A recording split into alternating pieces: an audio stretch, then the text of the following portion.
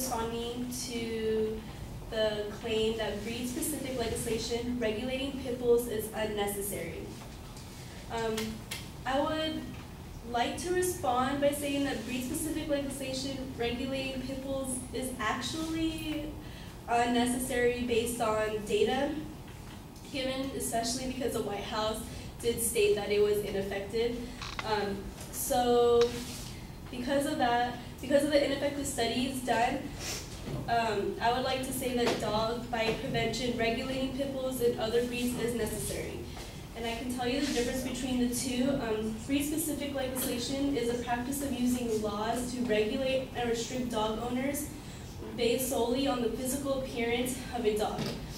And the dog bite prevention's goal is to reduce the incidence of dog bites within communities and improve quality of life for their citizens. My advocates' um, secondary claims were spay and neuter programs already reduce the risk of a person being attacked by any breed of dog. Second one, these breeds only become aggressive because of the training that they get and the way they are treated.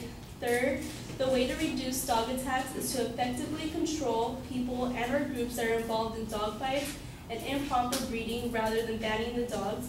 And fourth, laws that have attempted to apply the breed-specific legislation have had no particular impact on the rate of pit bulls attacks.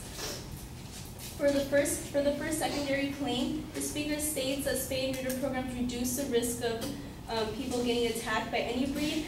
Well, um, and she states that according to the ASPCA, castrating dogs will, will decrease aggression, roaming around neighborhoods, becomes less territorial, and will have health benefits? Well, actually, according to the ASPCA, in my research, I was able to find that it says neutering is unlikely to change fearful aggression behavior towards people or other dogs. It will reduce testosterone, but it will not eliminate it. It is largely dependent on dogs' individual personality, the physiology, and history.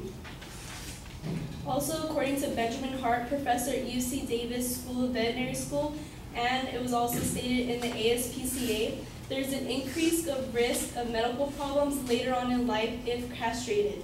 They have three or four times more likely to get cancer like lymphoma, osteosarcoma, hemangiosarcoma. They can also get hip dysplasia, their metabolism changes, which causes weight gain, and a possibility of cranial cruciate ligament rupture.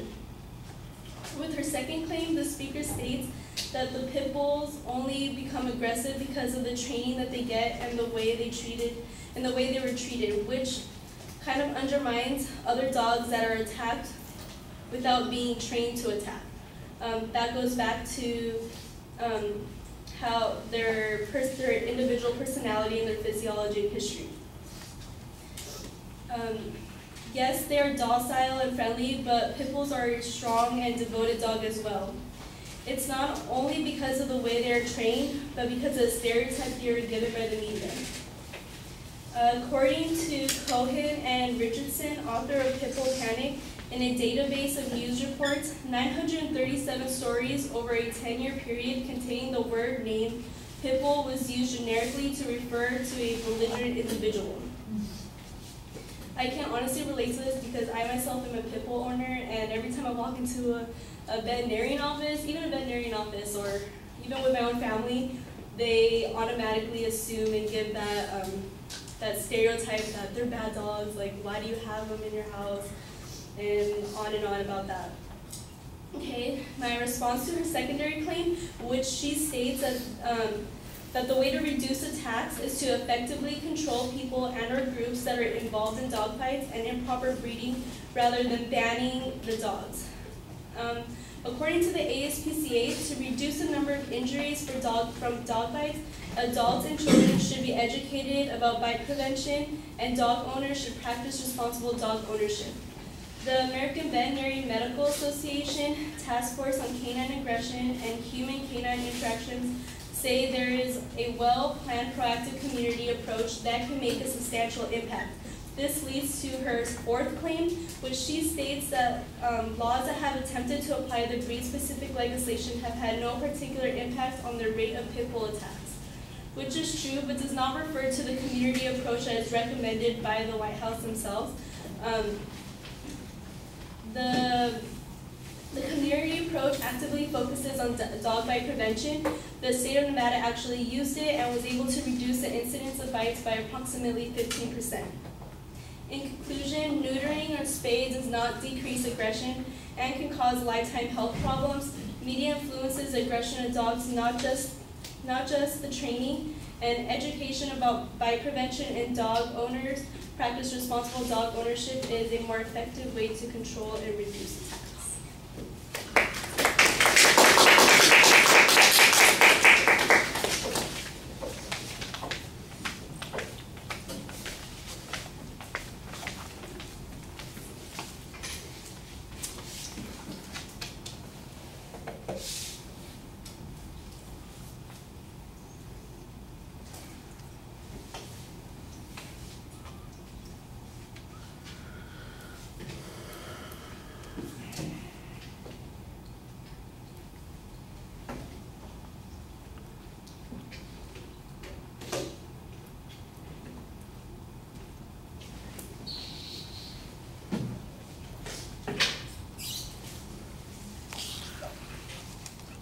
All right. Well, the all the material before the preview uh, at, and after you identify the main proposition is a little bit uh, confusing because I'm not sure exactly what you're saying. It sounds to me like you're saying, well, the White House is given the answer that says this doesn't work, so that's the end of the discussion on this particular point.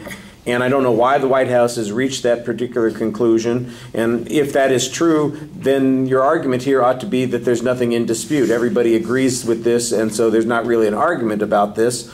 Or uh, that there is something else that could be done that the White House has neglected, and that's really what we ought to be talking about. There may be some other choice also, but I'm not sure what it is. Like I said, it just seems to me like it's a, a little uh, confusing.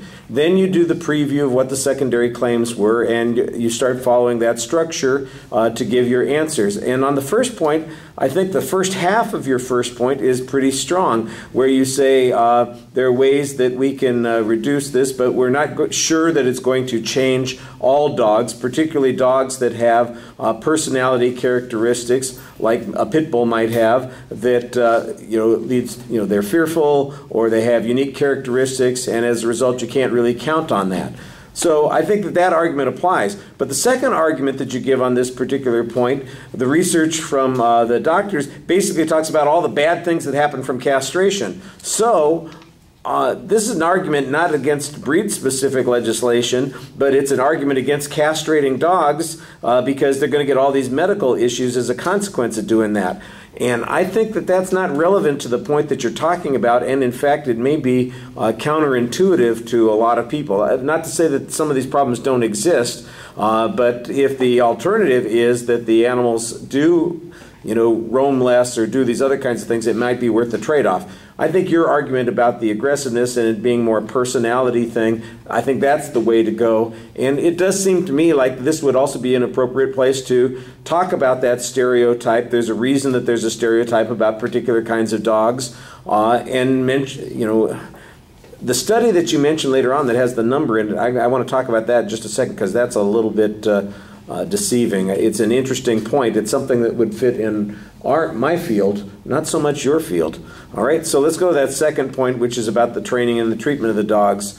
Uh, once again, you kind of remind us of the personality issue, but then you get to this idea of the stereotyping. The, the study that you're referring to talks about how people are sometimes described as being pit bulls, not the number of pit bull attacks or how many how frequently pit bulls are referred to in the media as being part of a violent activity. So in other words, you know, it's like somebody saying, you know, the uh, Republicans are holding on like pit bulls resisting Obamacare, or uh, you know, uh, the uh, detective, like a pit bull, is doggedly determining, you know, following the the clues that were left at the scene of the crime. So I don't think anybody doubts that there's a stereotype about the pit bulls. What you ought to be arguing is that there's a reason that this stereotype exists, and that might justify giving pit bulls a distinct way of looking at them. Instead, you kind of say, and even my vet is stupid enough to believe this kind of stuff, which, you know, it's based on your personal experience, and I'm going, okay, now wait a second. Your vet believes that the pit bulls are dangerous, but you don't. Now, which of those two people should I believe? The person who owns the pit bull or the person who treats the pit bull? Uh, you know, I think your credibility is not going to be as great as the other person in this situation. So why you aren't using that other person's opinion is to kind of support your position, say, you know, some of these animals do deserve special treatment. That doesn't necessarily mean that they need to be banned or killed or run out of town, but maybe there are other kinds of things that would work at uh, modifying this behavior. For example, you get to this whole thing at the end, you know, this community approach, and I want to know what the heck that community approach is. Are people who get these particular dogs, for instance, encouraged to take some kind of training? Uh, when they when the dogs get licensed, are there uh, inspectors or dog catchers or something that go around and do special follow up on whether or not the dogs are be, being treated effectively or taken care of in the yard the right way? I don't know what this is, and that to me seems like it would be a good counterclaim to say they do deserve breed specific legislation, but the kind of legislation that would prevent these problems, not the stuff that the advocate is talking about, just banning the dogs. That's not going to work. We need to have something like this, and that this is, in fact, that kind of breed specific legislation. Um, all right, moving on.